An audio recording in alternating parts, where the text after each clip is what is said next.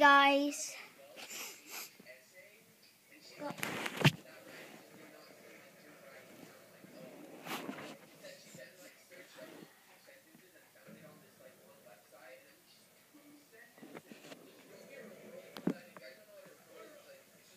If you know that I uh, changed my my YouTube username to Shawnee Silly Fingers.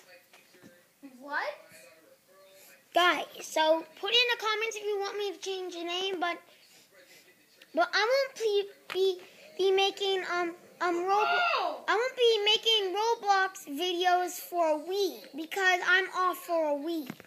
I did something really bad. Isn't that right? Yeah, I have to. I have to. I owe Daddy twenty-five dollars.